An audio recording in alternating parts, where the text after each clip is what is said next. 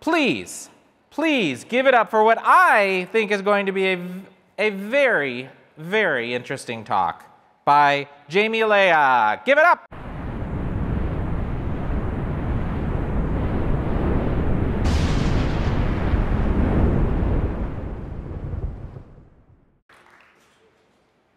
Hey, CodeMash. Some of you might know me as Jamey Hampton. I've been coming here for maybe six or seven years now. That's not my name anymore. Actually, it's Jamey Alea now. So that's exciting for me to see on the screen. Uh, for those of you who don't know me, I am a Ruby on Rails developer from Buffalo, New York. Uh, yes, that is me.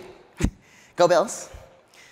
And this is also me at my letterpress studio in Buffalo because letterpress is what I want to talk about today. Um, this is the Western New York Book Arts Center. It is my favorite place in the entire world. And this is the project that I did with when I was their studio resident. It's a tarot deck that I printed, um, designed and hand printed all on letterpress. And if you want to talk more about tarot, come find me after or find me in the makerspace. I even have copies for sale. But today what I'm actually going to talk about is the history of letterpress. And when I say the history of letterpress, you're probably pic picturing like Germany in the 1440s.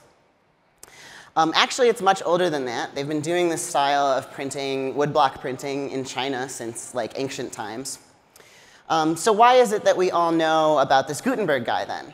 Um, well, he was still pretty instrumental in spreading this technology around Europe. He did invent some important pieces of it, like we've got this wine style press. Um, that was one of his inventions, and it helped do bulk printing because it takes paper faster.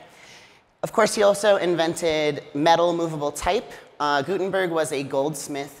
He invented the alloy, the metal alloy that the type was made out of, the method of casting it and making it, and also the recipe for the new ink that they had to use that could adhere to the metal type.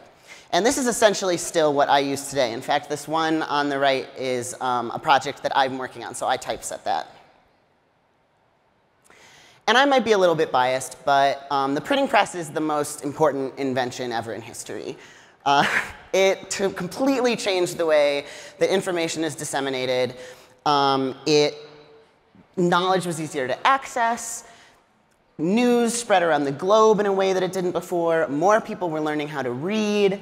It really affected every other aspect of history, like politics with pamphlets, the, the freedom of press, Religion, the Protestant Reformation, science, math, you don't have to be a noble to learn things anymore. So it's putting power into the hands of the people, which is really cool.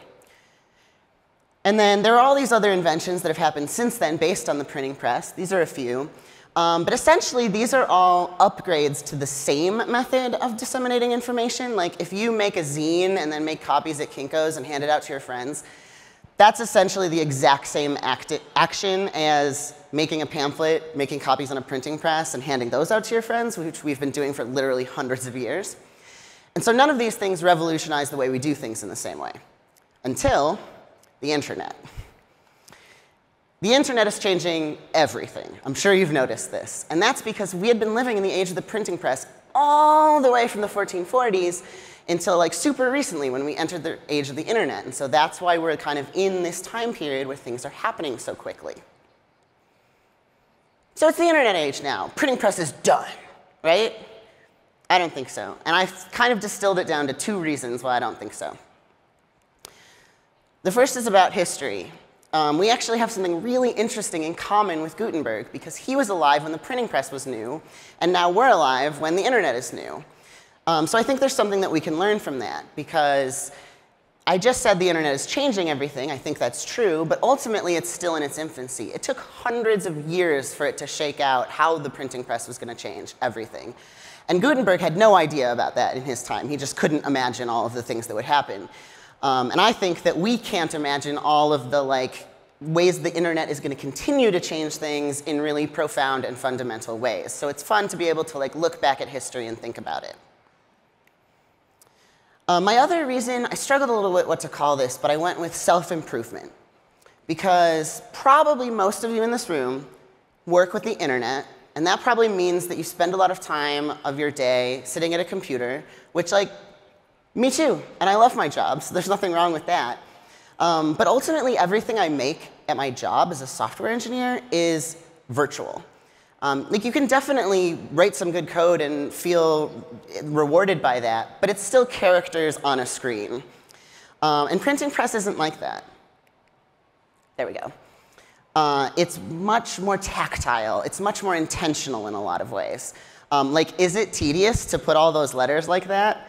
Yes, obviously, it's extremely tedious.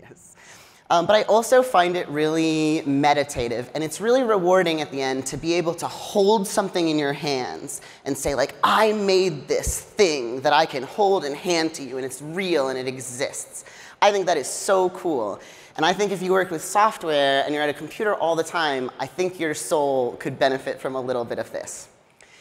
And so that's why my call to action at the end of my printing press talk is I encourage everyone to think about taking up a new hobby. It doesn't have to be printing press, even though I love it. Um, but there's lots of things you can do that use your hands and have a lot of history behind them. You know, try jewelry making. Try stained glass. Try pottery or woodworking. You know, forge a knife. I don't know what it is that you want to do, but something that with your hands that has history behind it, just try it and then message me because I literally want to hear all about it. Thank you.